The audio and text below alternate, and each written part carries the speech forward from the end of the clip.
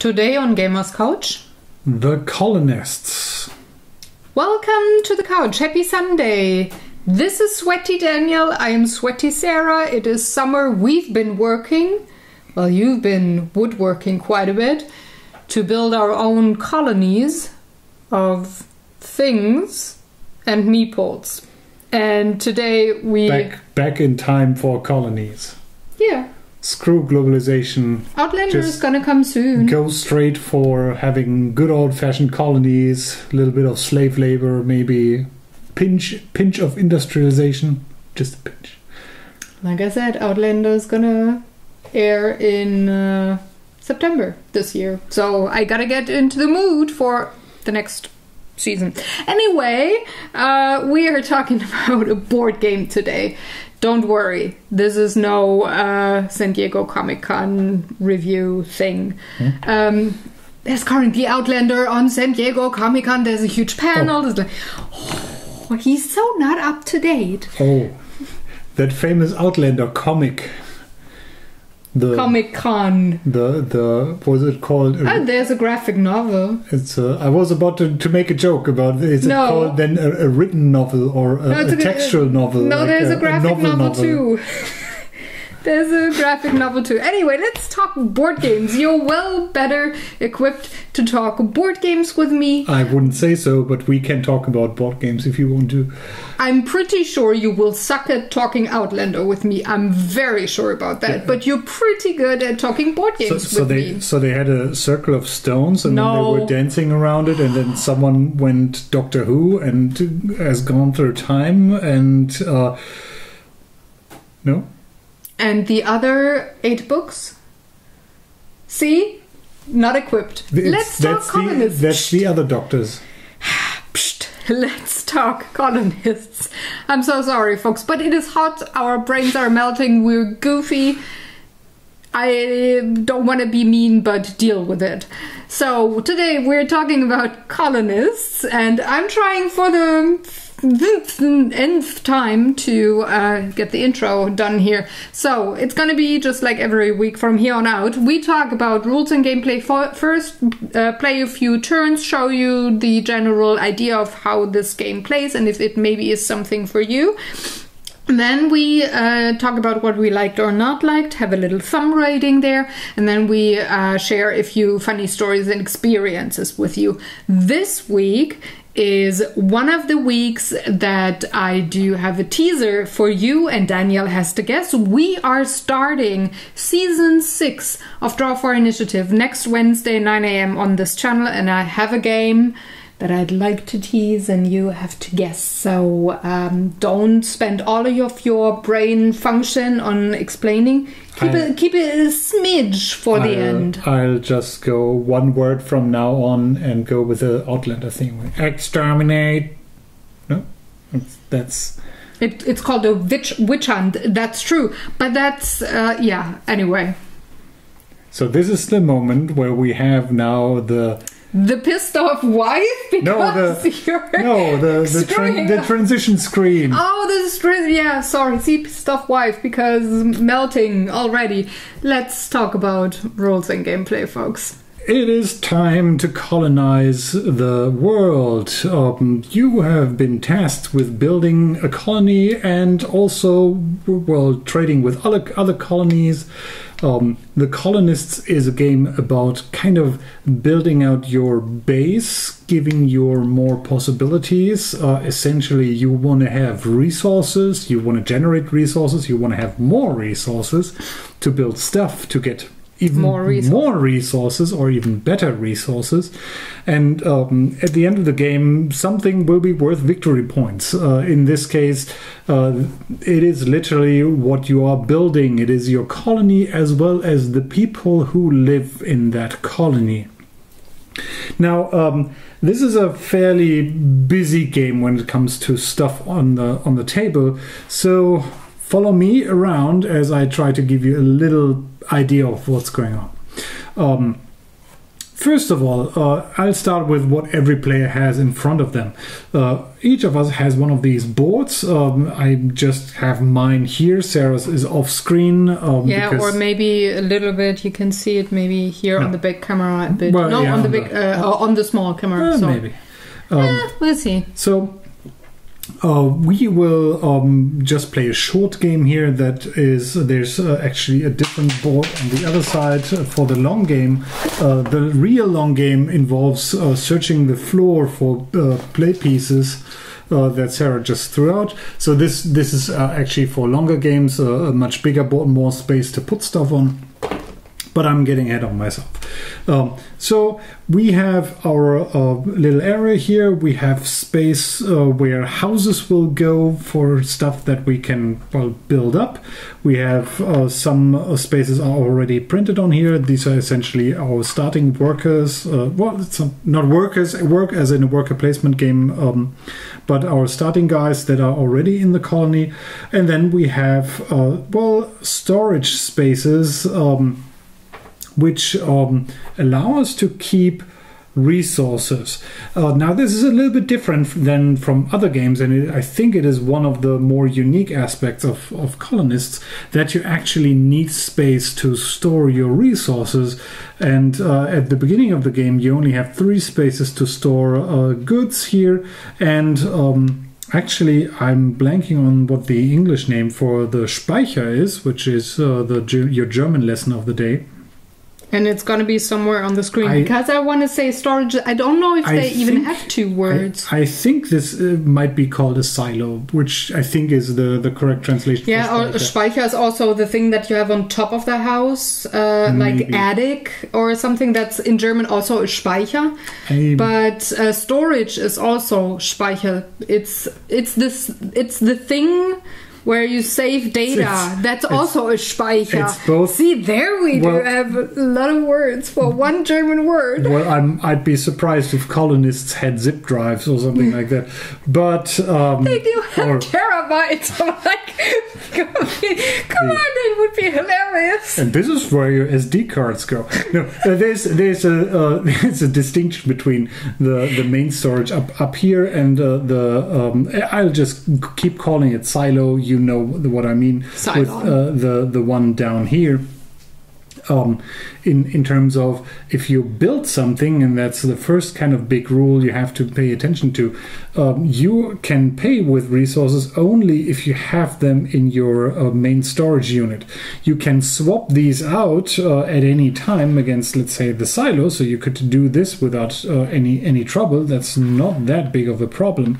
Um, but there's some uh, well limits to to how how you can do that. Uh, but that means that at the beginning of the game, uh, you can only build stuff that requires up to three resources. If you want to build something that is more elaborate or requires more resources than tho- than any three, you need to uh, build out your storage capabilities to actually be able to build that apart from even getting the resources.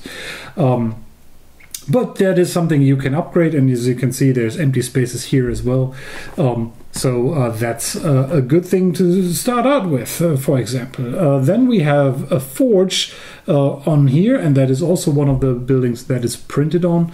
Um, there's one type of resource which is tools, and you will need tools throughout the game. The forge will generate three tools for you every year, and what that means with the years we'll see in a, in a bit.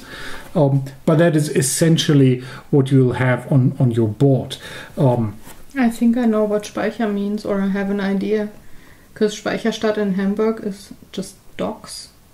And you save something on a dock. Is a dock a Speicher? I don't think so. It's, No. There's no ship. Who who knows? Maybe there's a ship down here. No. No. Sorry, I can I can stop thinking now. Okay, Yes. good. Sorry. Um, uh, you can already see here these buildings have little coins with one on, on them. Uh, these are essentially your victory points. Uh, everything will be converted to uh, gold coins, money, whatever you want to call it, uh, at the end of the game.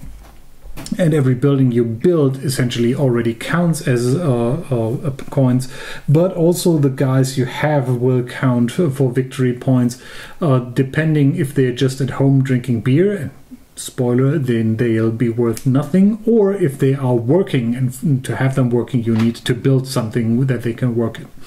Um, so let's get to how do you do stuff. Well, there is a worker placement uh, aspect in this uh, where uh, we have these uh, guys here. And we have this uh, modular marketplace, which uh, has some random elements to them. Essentially, with every game, you get to set it up with everybody. We already did this here. Um, there's a couple of rules on how, how to do that. And the way this game works is uh, essentially we'll be playing one epoch, which means uh, that we'll playing over five years, which are then also um, halved. So we have uh, 10 half years that we'll be playing for.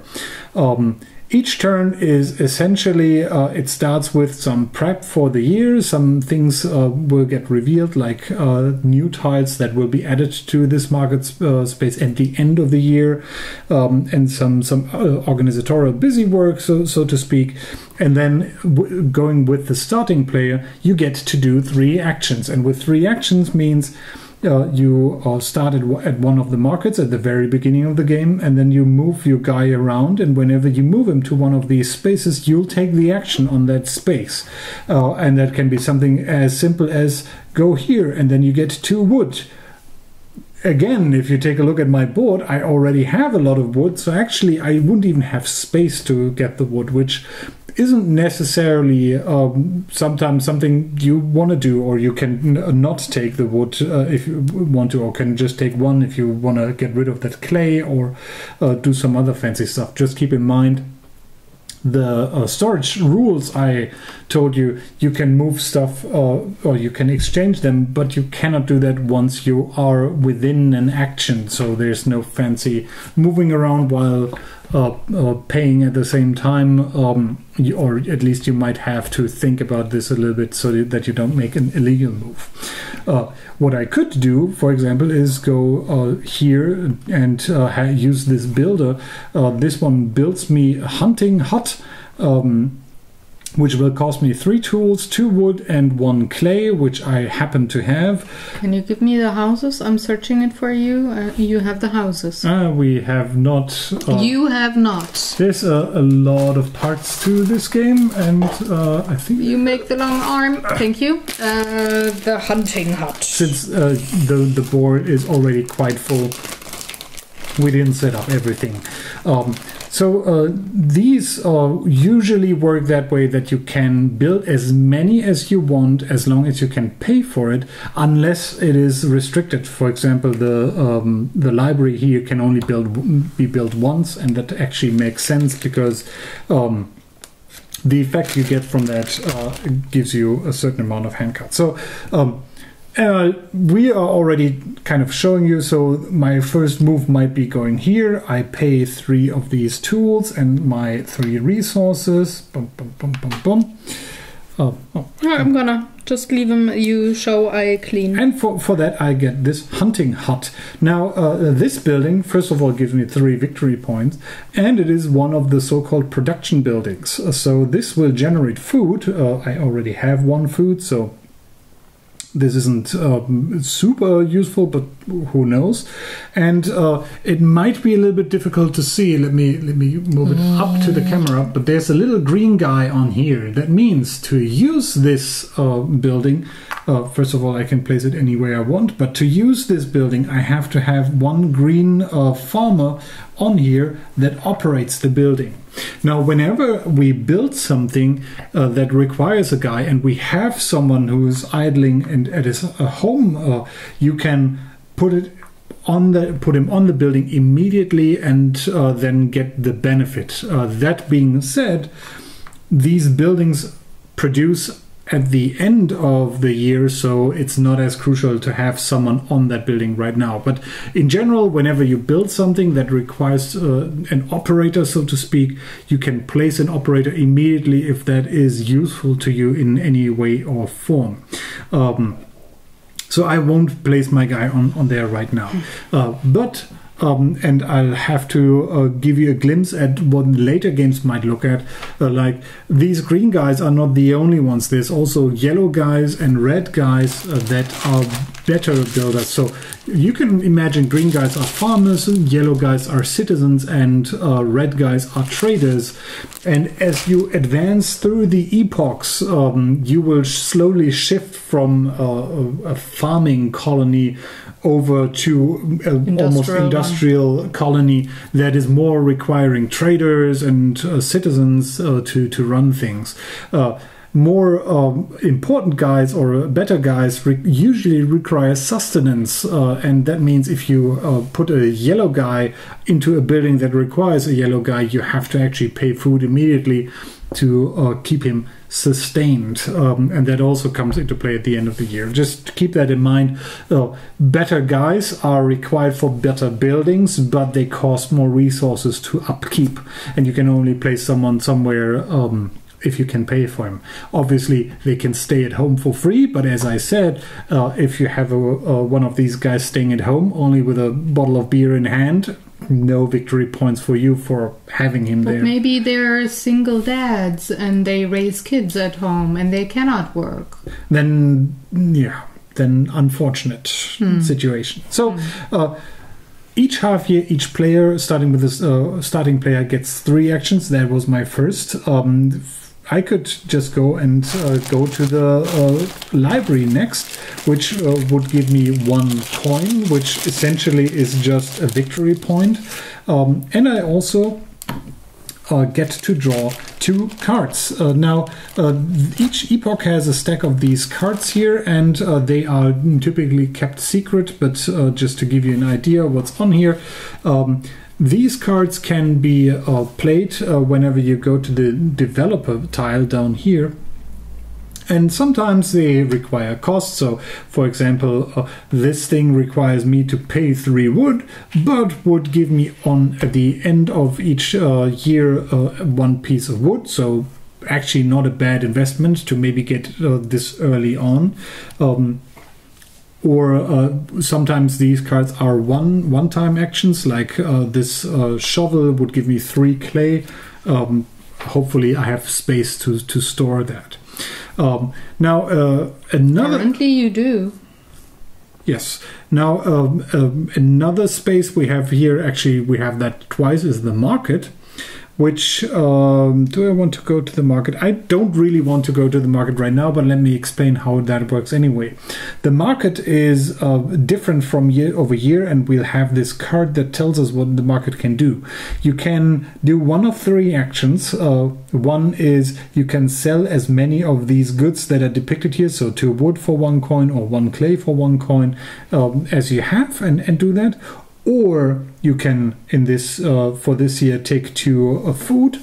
Or the third one is usually uh, you can use one of the tile actions that is on here but that is usually restricted in some way. So as you can see there's the librarian on here and the librarian on this uh, field only gives you one card while the regular one gives you a coin and two cards.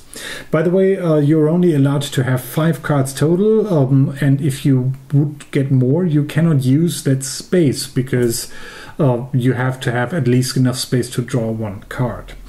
Um, And you cannot discard them. You Yes. have to have the action done yes. that is depicted on the So, cards. so you can already see there's different types of fields on here. These black ones are uh, builder fields that, well, build buildings, which are essentially worth victory points. Then there's some quotation mark special tiles like uh, this uh, uh, librarian here that gives you cards, the developer that lets you play cards. Then we have this um, mayor, maybe, or uh, big honcho, bureaucrat, bureaucratic yeah, honcho. there. Um, this uh, gives you a clay and uh, the starting player marker, so you actually have to use that to to get this marker to become the starting player for the next year.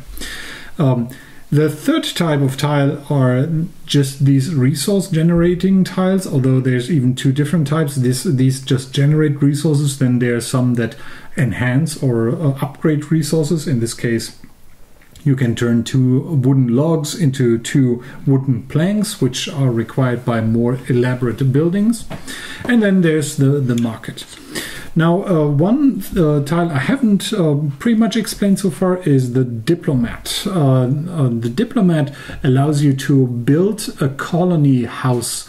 Um, as you can see up here, there are four colonies out of I think nine total drawn at random at the beginning of the game.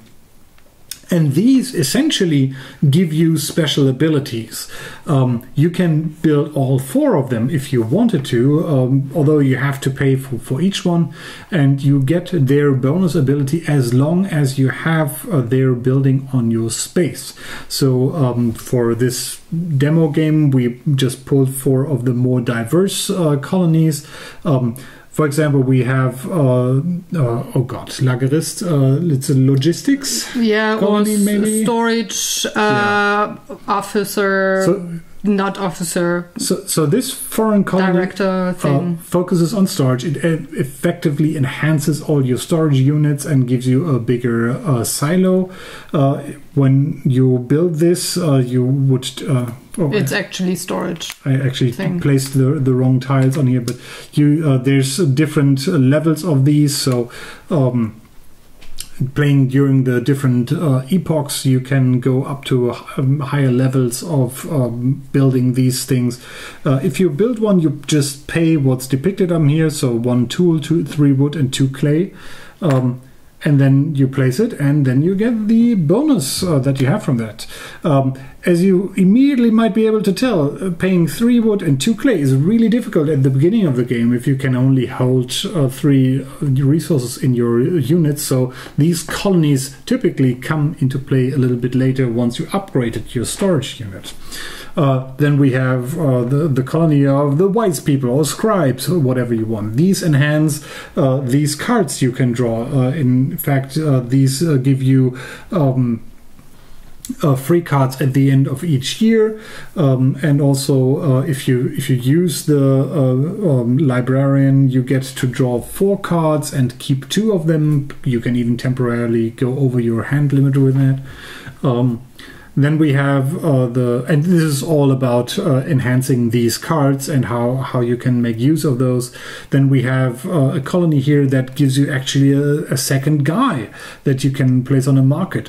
Um, you might imagine when I said you have three actions, uh, you can only move to adjacent spaces on here uh, if you move, or you can kind of teleport to one of the markets and then use the market action having a second guy somewhere on the board gives you way more options uh, where you can move because you could say I do action one here, action two there, and then three somewhere else or something like that. Um, so these guys are all about uh, a giving you more guys to move around the board, and then also extending the range of your guys so you can move an additional space. So you could move from here to here and uh, just call that one move, uh, for example. Uh, last but not least, we have a traders colony there as well. Those guys are all focused about uh, giving you the ability to trade goods uh, within your own realm. So you can exchange, for example, food for wood for clay at a one to one ratio as soon as you have that. Um, and that uh, I think. That's uh, an alter. I'm s- sorry. Uh, that's an alternate marketability. So when I go to a market, I can then exchange as many of the goods I, I have there, which can be very beneficial even early on, as you might have glanced here. There's currently only one space that generates clay. Uh, there will be another space coming into play at the end of the year that will generate uh, clay, but in the early game, clay is actually a little bit more difficult to come by. So having uh, this thing that allows you to just trade stuff around just as you need it uh, gives you way more flexibility on the board. Um, uh, so uh, talking about flexibility, um, Third action. yes, I, yours? I'll just go and uh, grab two two wood and uh, place them on here. After me, it's Sarah's turn. I'm gonna start at the market and I'm gonna go here. I'm gonna pay two wood And and two tools and three wood. Oh three wood. Sorry, two tools and three wood, and I'm going to build the Försterei, which is the Försterei, and it's somewhere on the I- screen. Now, do you know? It's not a sawmill. It's uh, um, No, it's the the keeper in the woods, they have a house. And that's what it's called. Like a ranger, maybe ranger's house, ranger's hut. Yeah, I'm, I'm gonna look it up. It's gonna be on the screen and you're gonna giggle because we are Yes, super uh, not Ra- ranger's great. hut. Uh, there's nothing wrong with Förster house. Försterei. And I'm going to put one of my green doodles onto the Försterei because then I can have two wood produced at the end of the year. Yes, you- That was Sarah could have also waited and not placed him no, there. he wants to go to work. Uh, then I'm gonna take two wood because I'm totally awesome like that. Mm-hmm. And number three, I'm gonna take a clay and the first player marker. Thank you. I'm done. Now we move into the winter season. Yes, second now it goes back to me. Now I have another three turns, and uh, something I'll have to explain as well. Um, you can uh, enter a space that another player occupies, but you have to pay every other guy who's there. Um, well, for using that same space, and that depends on which epoch we are playing.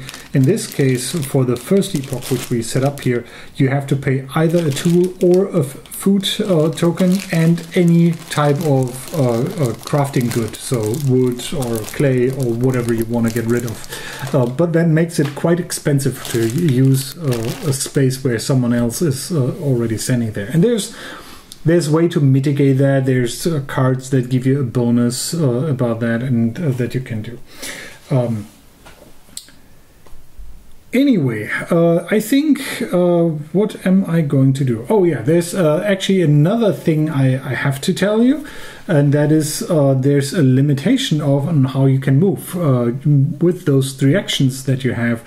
You can move wherever you want, but you have to end your turn on a different space than where you started. So I could not do the one, two, three turn to to do that. So yeah, I can go f- back and forth and then somewhere else, but um, that's kind of also there to prevent o- other people from blocking uh, Yeah. use. Uh, a- a Don't hog the space. Um, I have not a really good, super good clue to what You I. could play cards. Yeah, but the cards I, I can play is either I get clay, which I don't have space to store, or uh, I can do this, but I don't have three wood to pay for it. No, you can go here and pay only two wood and uh, tools and build a Försterei. It's three wood, Oh, Still. three wood. Sorry, same as what you just paid. sorry. You still have two. Well, then go here. One wood, one tool, and Hmm. build yourself a hoof. Yeah, a hoof with a dude. Make a dude. Yeah. Uh, now, if I would play, be playing a, a, a real game, I wouldn't help you. I uh, I would uh, probably try to get to uh, the the storage unit up there and uh, get get a better chance at uh, doing stuff. But yeah, Come on. yeah, I'll, I go here, uh, spend one of my tools and uh, a wood to uh, get get a, a Försterei. No, it's a Hof. Uh, yeah, okay. So Which is, which is, which So- is just a farm. Yes, just a, a, a housing for a green guy, um, which leaves me with uh, two more Mm-hmm. things I, I can do. Um, I think I'll just get another two wood and then end on, on the on the library, so I get another coin and two more cards in hopes that there's also good stuff in here. And, let's have a look at what what other cards we have. We have a car. Uh, by the way, these cards have little puns on them, uh, which are probably difficult to translate right now. But when we played the English version at BGGCon, uh, that was still punny and funny. Um, so what do I get? Um, uh, oh, if I have, uh, if I'm able to uh, build this, and I that's something I want to build soon, then is I can use uh, another space where someone is already on there, but I don't have to pay a tool or a, a Good. food item. Or uh, I can do this, uh, and this allows me to transfer or to exchange up to two times a wood and a clay into a brick, which uh, is not terribly useful right now, but will become more useful as the game progresses. So these were my three moves. And you totally blocked me, and I'm Um, not happy with that. Not sorry. What? What? Anyway, I'm gonna go to the market. I'm gonna get a librarian's book, also called a card. I'll, I'll keep my cards up. Uh, oh, you can't see them anyway. So, uh, I. that uh, some things are very fortunate. Uh, I'm going here to the developer. I'm gonna get to. These uh, tools have no restriction don't take up any uh, uh, storage space. And then I do have a um, commission for construction for a Lagerschuppen, Which is a which storage is a storage unit, and, and you can build up to two. yes for, for, uh, one tool, one wood.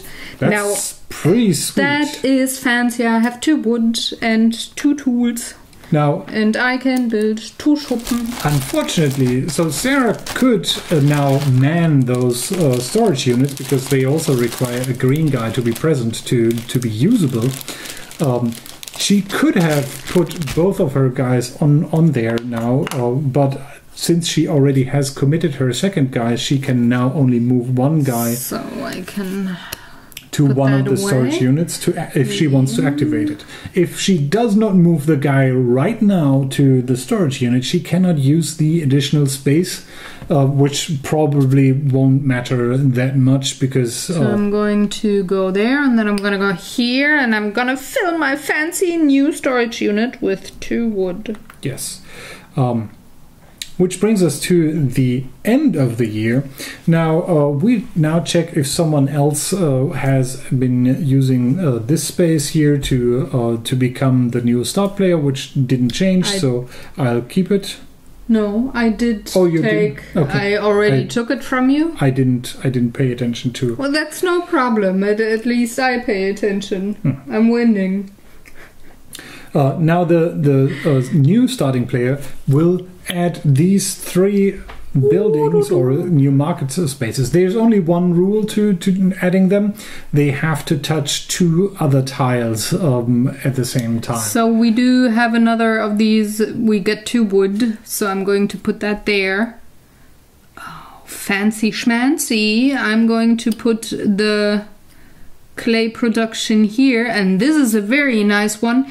It makes a production thing, it's kind of, kind of um, uh, expensive, but you can put a green, a yellow, or a red dude in there yes, and to work. and uh, for endgame scoring, um, if you put a red guy on on that thing, um, 16. that's a lot of points. 16 Uh, now- per dude. What we can can do now is to reallocate our guys. So I will now use that uh, moment to uh, commit my green guy to my hunting hut, um, and then we. Uh, you you're good. I'm good. Uh, then we have to key, uh, pay sustenance. Uh, now, the green guys don't require anything, but if we had yellow guys on here, we would have to spend food to keep them sustained. Now, f- paying food for that is uh, uh, a little bit uh, different from anything else because you can actually pay that from uh, a silo. And you don't necessarily have to keep that in, in your storage unit. That is one of the few exceptions where from the rule that you have to have stuff in your storage units to make use of that. Uh, after we have paid for uh, the sustenance, we go into production where all of our buildings that produce something do so. So in my case, I have a, a little, I get a little food Oh, item placed, placed on here. No, you didn't. I thought you have the first one too. And then our uh, our forges also generate us three new tools. The blacksmiths Now- are smithing. Now you uh, immediately may see here that I placed the newly produced food item I as well as Sarah uh, placed her wood item onto the building that produces that. Now. Uh, those buildings also act as a buffer, keeping the the goods there uh, as long as you want, but um, they can never store more goods on there than the than the place can uh, produce. So, uh, if I leave this on for a full year and this goes back into production, it does not produce a second food unit unless I move the first one away. So that is something that uh, should keep me in uh, uh, incentivized to eating. to build more storage units to move them out and then have this uh, tile produce more stuff. Um, again, you cannot pay for things um, unless uh, keeping people alive, so to speak, to so keeping them fed. Um, Sarah, for example, cannot use the two wood tiles uh, that her uh, whatever forest, forestry Försterei. Um, has produced to pay for a building. To use those two wood she has to move them over to, let's say, her general storage unit. Um, but that gives you some good ability to do that. Then, And we move here. yes, then we, Second year, and then we get a new market we, card. we start we start a new year. Um, the new market card lets us sell food and clay, but it gives us uh, wood if we want to, and uh, we can build the Rangers guy's hut. Only one, but uh, at least if you don't want to travel down here, you can use the market action to do that. Now it's Sarah's turn to start, and um, you have seen the entire loop of the game. Um, you keep on doing that until you finish the fifth year, and uh, if you just want to play one epoch, as we have set up here, you would then go forward and count uh, how many victory points you have. For that, you count the buildings that you have, the coins that you got, and at the very last turn, you check uh, how many workers of which type you have in buildings uh, that are doing actual work. So, for example, these two green guys on my board wouldn't give me any victory points at the end of the game.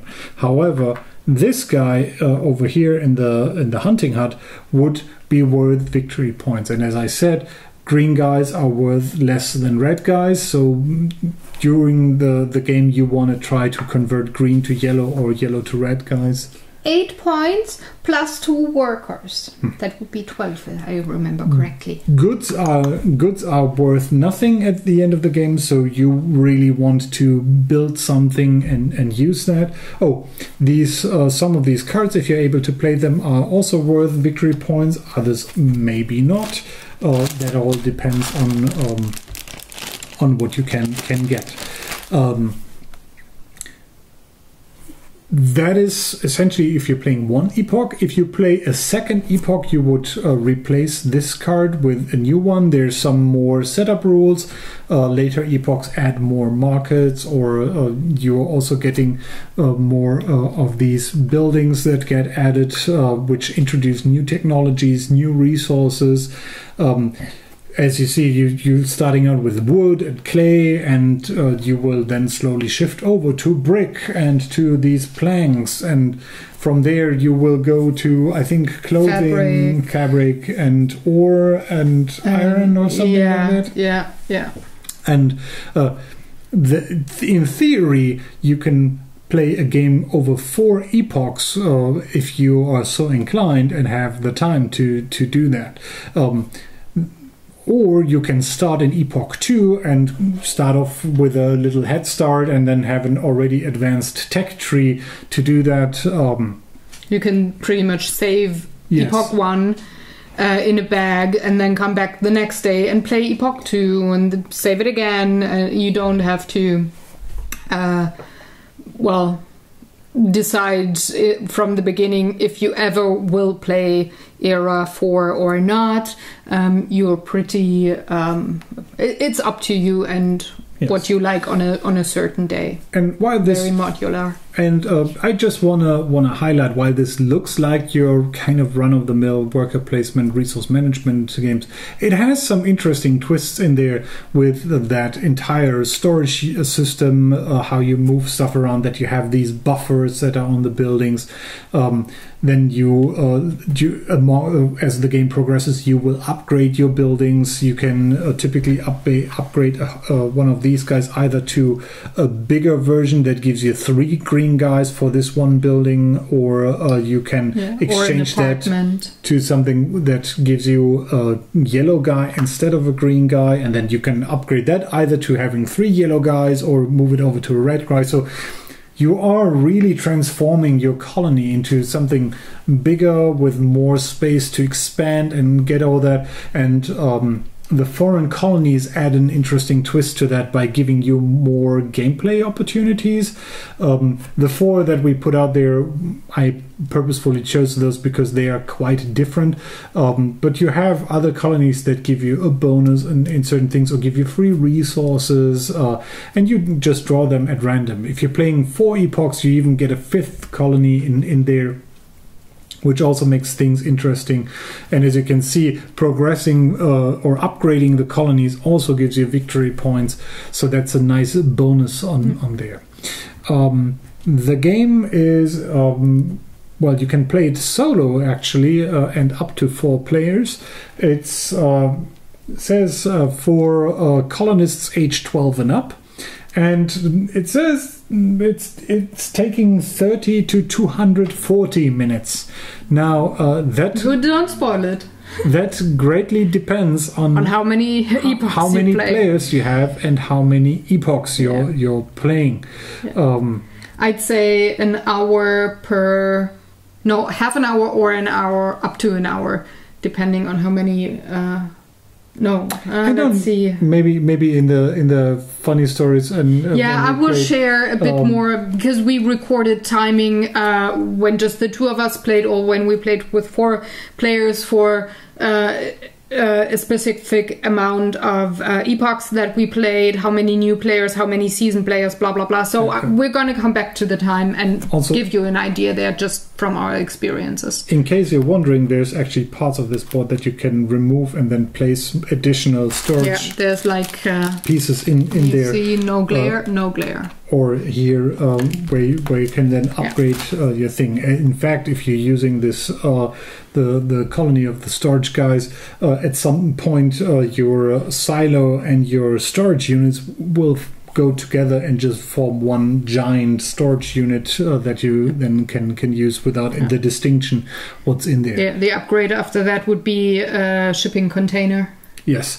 Uh, also, I think, um, if I recall correctly, uh, if you fully upgrade your storage stuff with that colony, you go to something like one space and then has capacity to store 24 goods or something like that. Yeah. Just to give you an idea how. Uh, large the this entire endeavor is getting uh, uh, over If you ever have played SimCity back in the day on the computer, uh, this is pretty much the same thing where it accelerates at uh, at a certain point, and you really have to deal with a shitload of uh, card stock. I I think uh, an, uh, or another another way uh, or another good comparison would be the Siedler, the Settlers, uh, and, and I have. I think I haven't played that. because that's that's more you have individual guys that you send to Oh, to oh, do okay, stuff, and that has a similar feel here with you. First, for one, you have to kind of, and that sounds Let's- very let's- dehumanizing, Oh. but you have to increase your workforce on the one hand, but then also your your tech tree kind of Yeah. stuff where you Yeah. get stuff. Let's uh, transition super smoothly into likes and dislikes. Yes, and, And I'll, keep going. I'll drink my coffee while Oh, you say. I, I say I okay. Sure. Good, good, good. Uh, well, um, this is a very fun game. Uh, it it does actually scratch a certain itch with my personal taste of uh, what I want to game. Um, yes, it is a worker placement, and yes, it is also action selection. But the thing is, um, you might be stopped, or um, let's say it might you might be handicapped by other players standing at one spot and you can maybe not afford to go to a certain spot uh, where somebody else is standing. So you have to either uh, go totally different with what you thought you might do that turn to not have an empty turn uh, or you really have to pay and uh, even calculate uh, having payment for other players um, down that uh, well sit on a spot that you so badly wanted to go to and that uh, drives forward your strategy and your idea on what you want to do on your board. And that kind of stays the same throughout all of the games and all of the epochs, but depending on how many players and depending on what tiles come up first, there might be a bit more hogginess on uh, certain spaces in the beginning, or you just might spread out because there is enough where everybody can go and say, "Oh, this is valuable. I want to do this and this," and the other one wants to go to a totally different corner of the colony and do something else, and you never know unless you have the market down. You see, oh, that's what's going to come up uh, this turn. So I like that it's not a hundred percent um, predictable on how things come up. And uh, by by uh, having the three next um, market spaces open you can kind of already Yeah. strategize ahead.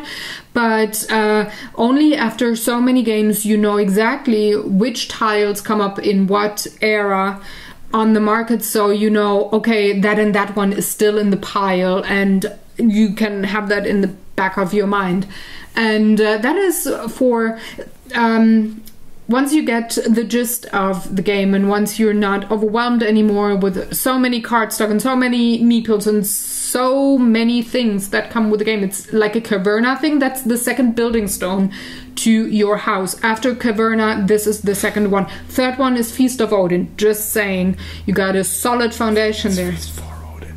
that's the german word. Feast for odin is the english game Oh, we can also eat Odin. Quite yummy. No, no cannibalism here. Okay, I'm just saying. But um, yeah, once you get the general gist of this, um, you can actually focus on uh, planning way more ahead in your moves and be um, not only the winner but want to win with a certain amount of victory points or something. So there's enough in the game to keep you um, strategizing and stuff over the years to come. Uh, if you well play this game, you can also just play laid back like we do. For example, yes, we're uh, quite uh, let's say competitive when we play, but uh, we do not mark it in the calendar when we made a shitty move on uh, our game and maybe we're not optimal with the way we played and just enjoy ourselves. So you can also play that way and still enjoy this game a lot. So it's yes, it is a heavy euro and I like that a lot, but it has that lightness in there that um maybe doesn't make you feel as overwhelmed as other games do uh, that come with multiple mechanisms, uh, area control or uh, action selection and worker placement. I think it's it, it looks like a lot, but it is so simple. Yeah, and, and it it kind of grows with you while Exactly. playing it and uh, making it, Exactly. the, taking it in is a little bit easier than uh, Yeah. Yeah, I think exactly. uh, That's exactly why I like it so much. You don't get the 200 square foot board right away Mm. and all the options that are going to come up in hour 10 of this game but you start small and then you grow and it, it that's what it doesn't or that's the point where it's not overwhelming at all but you kind of learn Mhm. To uh, well grow with this game nicely said honey i like that Yeah, the um, I I have to say I, I also like this very much. Although I very strongly recommend playing this once or twice to get a feel for it, and then kind of starting to think about getting Yeah, yeah. getting better. But it's one of those games that. Um, even though at first I was like, man, I, that makes me feel really stupid uh, because I still don't really know how to generate victory points reliably.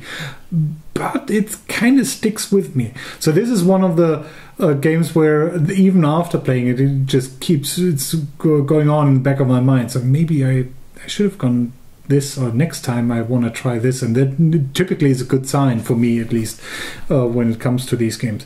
What I really like is this market area going around. Now I um, I also like games like Caverna, or as Sarah said, well, we haven't talked about Feast for Odin yet, but th- those have this here's your action panel, and you may choose to do something, and everything's on here. I really like that this is more organically uh, well, growing. growing out, and uh, this no pesticides. this actually has to me a feeling of there is a, a colony or there's a village or a city that is building building out and um, becoming bigger giving you more opportunities more things to do while also having this aspect here of um, setting up your own little work unit.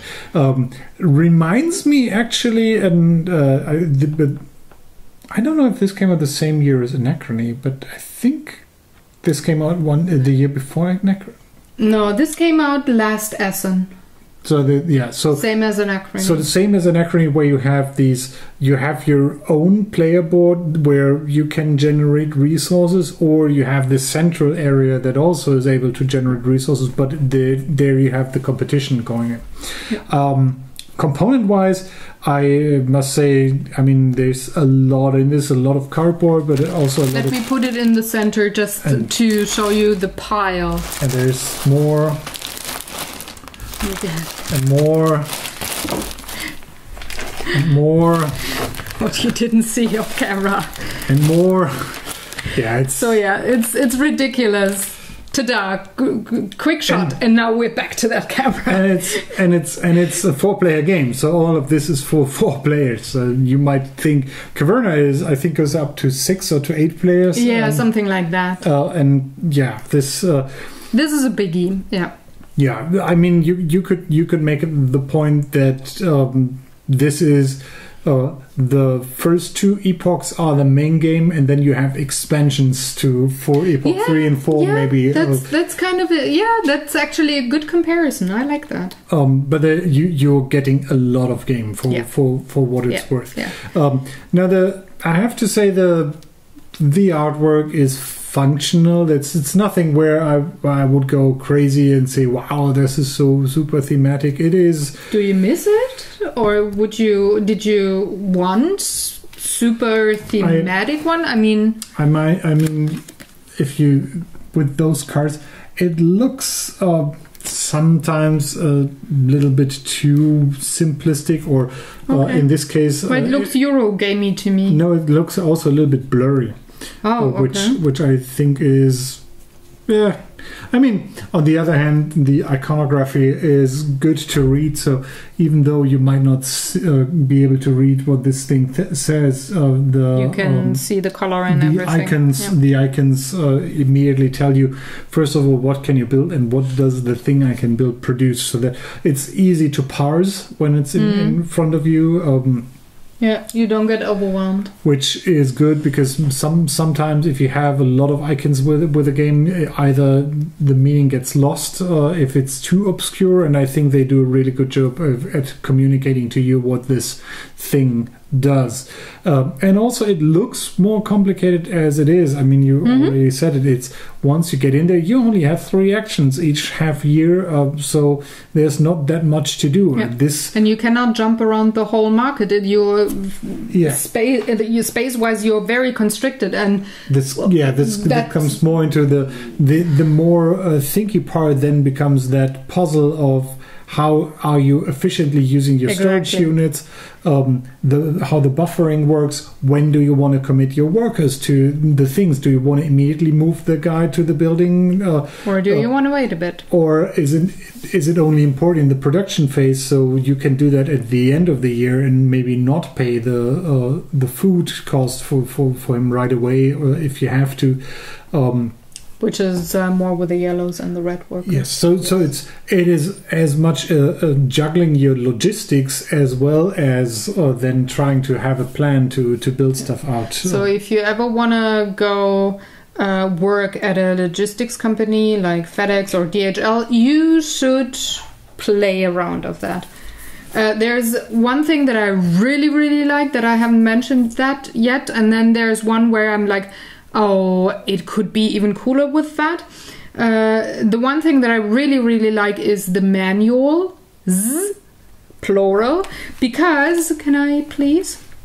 it comes with this one here, which is a whole uh, booklet about the first game. So it, it it's pretty much um, is with you.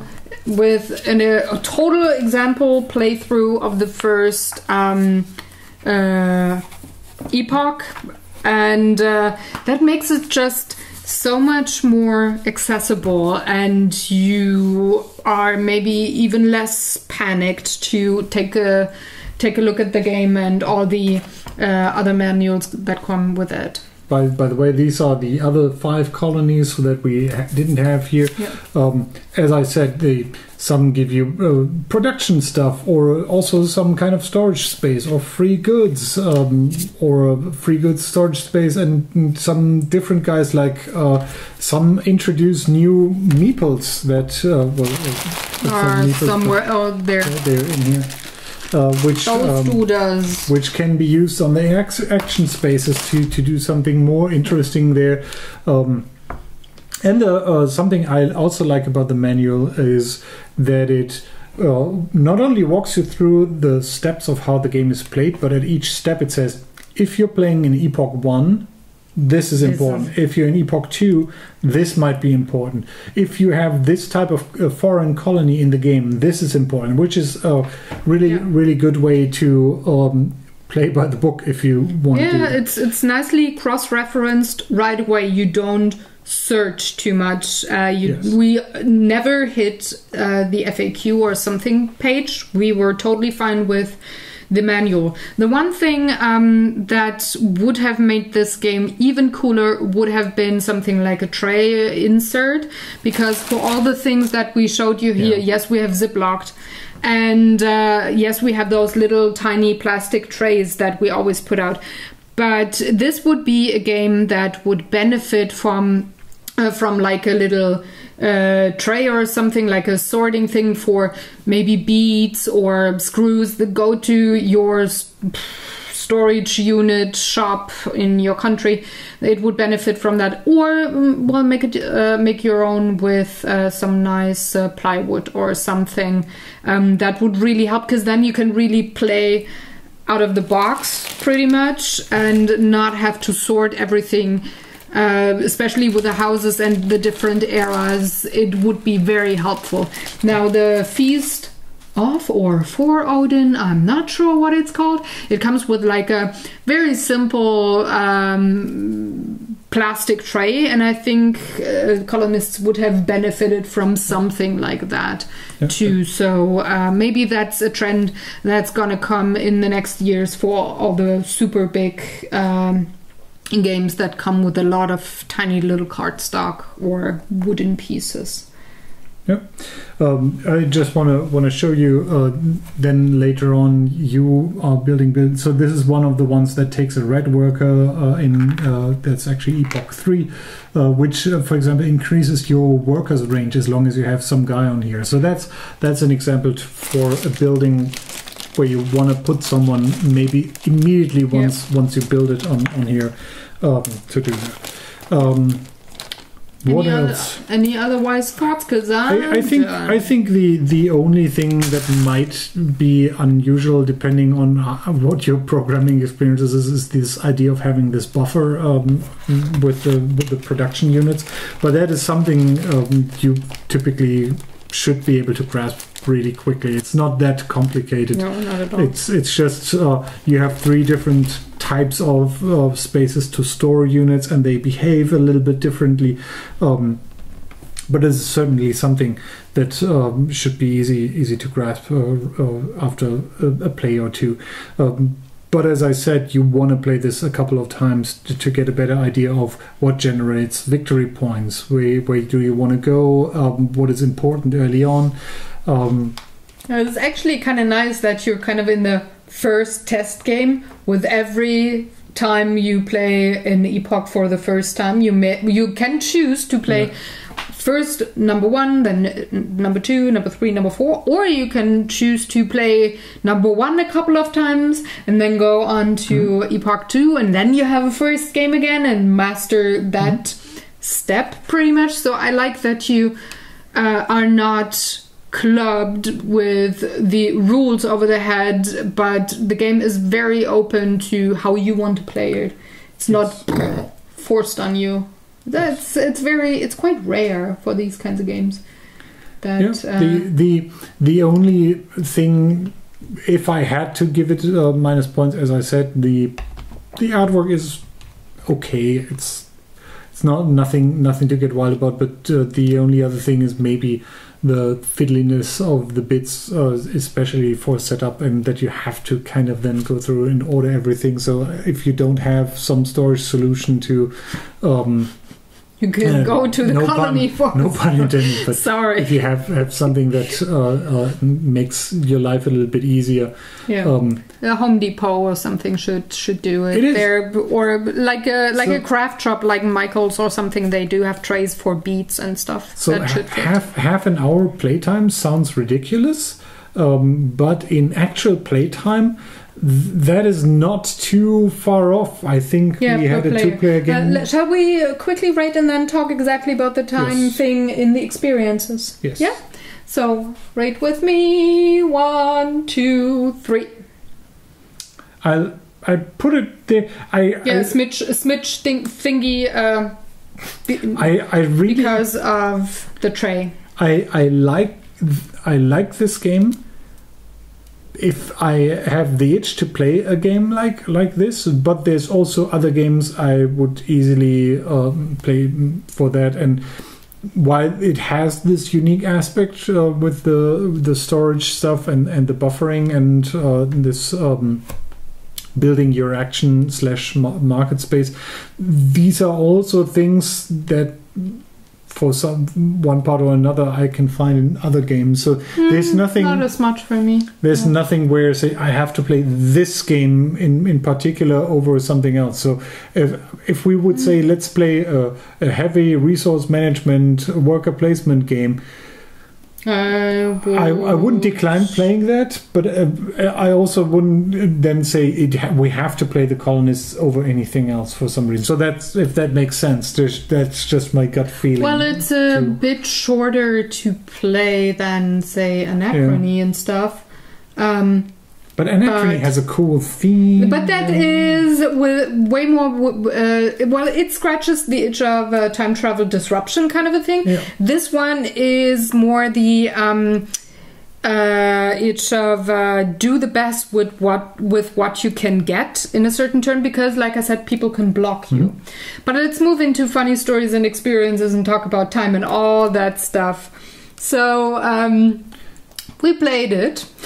Let's let's talk. Let's talk about our tutorial game. Oh, we actually didn't have to read the tutorial or the Yes. rules for the first game. We had to do we that were later. we were We were super taught. fortunate that someone took the time to Thank show you, us Joe. how how this game is played. And uh, we got um, not only the uh, introduction game, we got the whole game. So we were at BGG uh, Con last year, and uh, our dear friend Joe had also bought uh, the game at Spiel, just like we did. And he had played it once or twice between Spiel and uh, BGG Con, and he said, "You know, I'm really, uh, I really want to play." Uh, like all the four epochs in one go, and he brought his copy to uh, BGGCon. And he asked, um, "Would you guys maybe want to play with me?" And like, "Yeah, sure." We were, bought it as well, so we can learn the game. And- That's and a he- great thing, right? And I, I, I'm pretty sure I heard him say, "Well, the game box says 240 minutes uh, maximum. Let's not, uh, or let's stay on the on the safe side and say." It's probably not take four hours. It's probably more like six hours that it's Yeah. going to take. Are you ready to commit? It's like, eh, yeah, sure. yeah. I yeah, mean, I well, it was the evening before the official Yes. um, opening of. No, it was the first evening of the con, right? It was not the evening I- before the con I don't, started. I don't, I don't remember. Time Because we played in the uh, ballroom. time started to blur. It was the first evening of the point- uh, where the con had started. So um, we sat down and we had a fourth player with us. So three players didn't uh, know anything about the game. Were playing the game for the first time. we are learning. Yes. And one person had uh, played the game, so Joe was the most versed in uh, the colonists thing. So uh, our one uh, came and went, expected. Hour two came and went, expected. Three, four, five, and six came and went, like expected. And then- number seven, eight, and eight and a half, 3 a.m. in the morning. Yeah. We finished being being um, totally exhausted. yeah, and, and that Jet lag and all that stuff also going on. and un, unfortunately, and that is uh, here's here's the really important advice. If you are a, a, a bitter, grumpy guy like I am, oh, Um, babe. If you are playing this for the first time, don't play all four No, uh, epochs. no. Don't even. I wouldn't. I would say don't even play two. Um, reason for that is they really build upon each other. Meaning, if you're playing this for the first time, or maybe even the second time, and you don't exactly know what you're doing, uh, and you don't set up your game correctly, um, you will find out that after, let's say, an hour.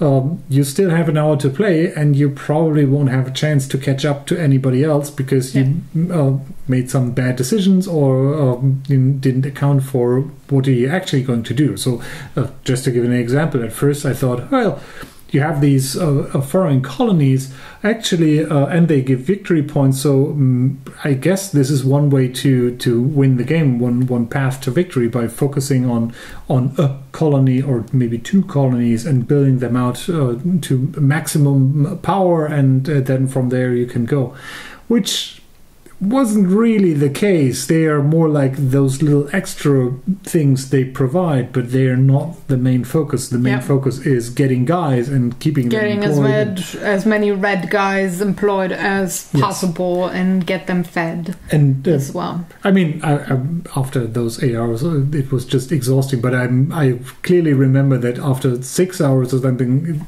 I kind of went into the Era four. Six hours Yes. was the beginning of era four. and and in fact, I have to I have to say uh, there's a big down thing to this game which I actually forgot to mention in the likes and dislikes that you cannot do a lot at all if it's not your turn. Um, yeah, if you there's- well, if you have three players that don't know shit about that game at the table, it takes way longer. But the game we played Mm-hmm. later, uh, where um, we didn't only have first players at the table, that went way quicker. And here's um, In, but in general, uh, if you're having four players at the table, you will be sitting there and waiting for. Yeah. Yeah, exactly. People. Because the one thing uh, you could now argue, well, people can plan their strategy while it's not their turn. Correct. But since somebody can block your spot where you want to go and you maybe not having the resources to give to the other player, Yeah. you're kind of screwed. So uh, we very uh, pretty much at every game said, okay, we're not gonna plan anymore. It doesn't make any sense. You just get frustrated instead of looking at the board once it's your turn, I- and then you bam, bam, bam, go. I and if certainly had it multiple times that someone um, that I was planning, saying, "Okay, I could go there and then do this, and then I could go there and do this, and then uh, both options." For some reason, Yeah. I, either the first half or the second half of what I wanted to do of, of those three turns uh, And that's the thing that I said do the best with what you got. And that kind of is, I- or I don't remember that part in other uh, worker placement, um, I- mean, developing your That- shit kind of that's, games. that's also something you have with uh, Caverna, where someone is taking your, your space away and or uh, taking an action that Yeah, you wanted to take. But There's a similar action available for you somewhere. for, for for these, it also it also you can only get the first array on one spot. yeah that's so some at least in that era. some spaces are there in, in multiple ways, but you're not only uh, locked by having maybe the resources, but Yeah. sometimes you're locked because uh, or locked out of a decision because you just literally cannot get there. yeah. um, because it's too far away, or uh, you would have to pay stuff on the way there, and then that cost may just work out. But if then another player is standing on that, Yeah, you Um, just cannot go there. Correct. Yeah. Um, but the once we played it, just the two of us. So uh, between BGG Con and uh, us playing here again, it was quite some time. We had so many games that we uh, had to play.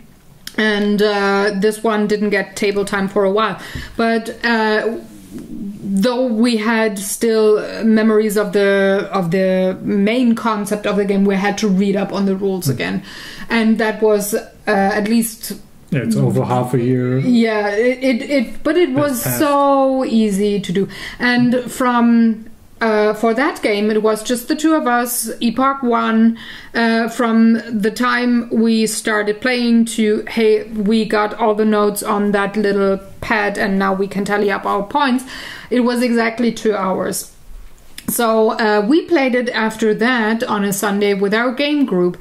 There we had two new players and the two of us knowing things.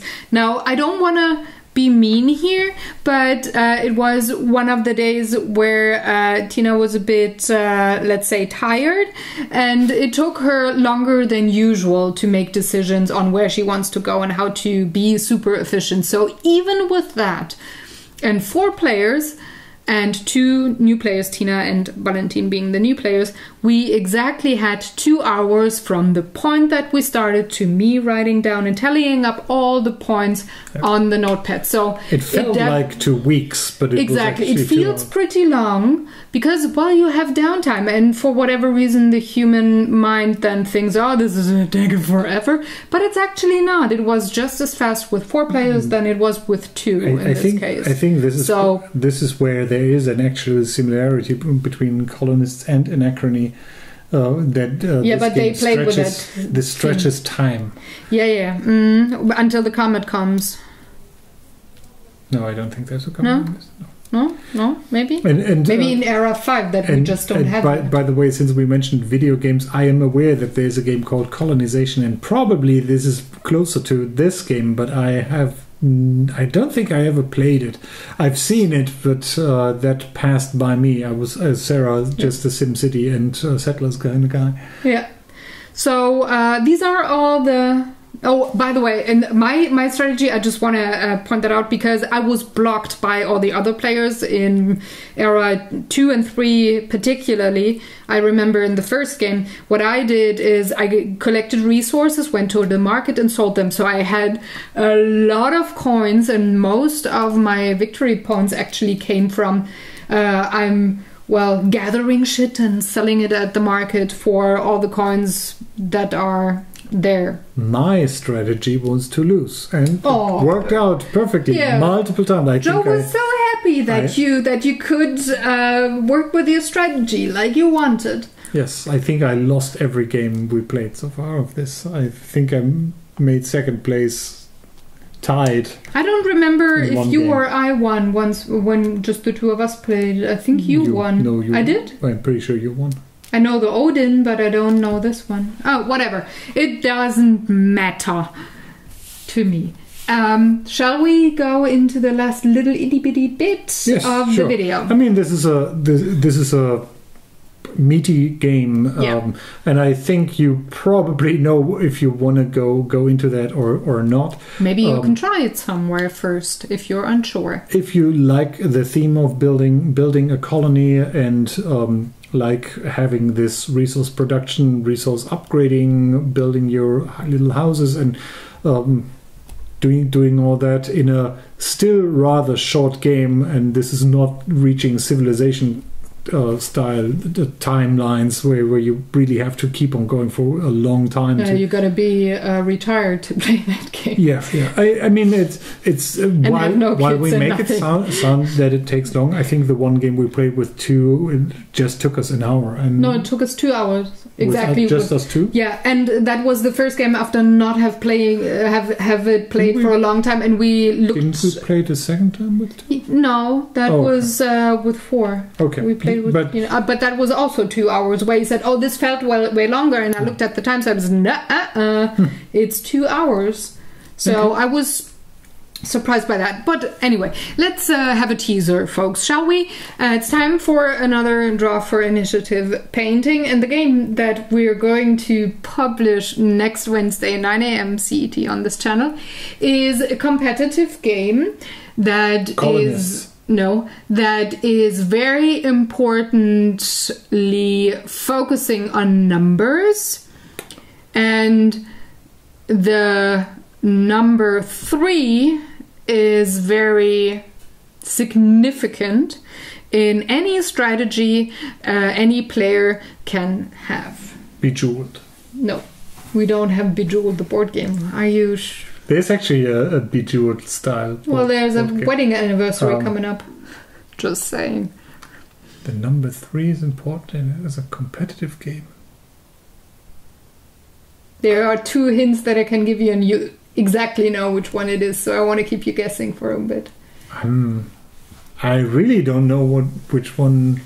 There's a lot of numbers, and three is a significant one for strategies of both uh, players. Some people might be reminded of bingo. Um, it's mainly cards that are on the table. It's actually a very small game. You can travel with it. I, it fits in my purse. Yeah, I was Um, I was I was thinking about very. We bought it this year. I, I was thinking about a game that that involves uh, or that whose which title involves uh, a very precious stone, but I don't think it's no, that because no, that's it's not that. so no diamonds. No, no. The number three is very significant. Uh, it's a two-player game, and we bought it this year. And uh, it played a role in our time disruption line thing. Um, there was something very confidential in there. Mm. I don't, I don't know, but this this might might be uh, uh, well board game guessing for runaways. Keep going. I don't want to swear, but I think the Latin people called it tempus fugit or something. Oh, fugit. That's right. Yeah. Yeah. Don't don't Anglo-Saxon the Latin you- language. So if you sorry, that's just my German accent. It's uh, it's obviously a very hard G in uh, fu- fugit. Mm-hmm. It's not fugu. It's not the fish. Bloop. But it's uh, yeah, it's uh, a crappy times tempus fugit. Mm-hmm. I think. Yeah.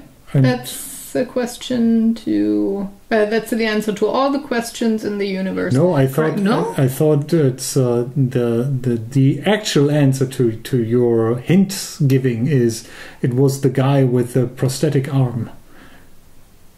Yeah. Maybe. Who knows? Find if you've out. seen if you've seen the the Kimbles, then you know which game we're talking about. Well, you can check out on Wednesday if you are correct. You can also leave a guess in the comment section below uh, for our very um, personal amusement. We uh, will definitely answer you very cryptically if you're correct or not with your guess. And uh, we're going to see you next Sunday on the Gamers Couch with a new game. And until then, have a wonderful day, have a wonderful rest of the weekend, enjoy the week. I hope it's not very stressful for you. Uh, maybe you got some time to sit out in the sun and enjoy a pina colada or something. And uh, come back to the indoors next Sunday for the next Gamers Couch. Have fun, folks. Take good care. Bye bye. Goodbye. Bye. Bye. Can I have my own colony now? The colony with the fridge and the food? No? No. Oh.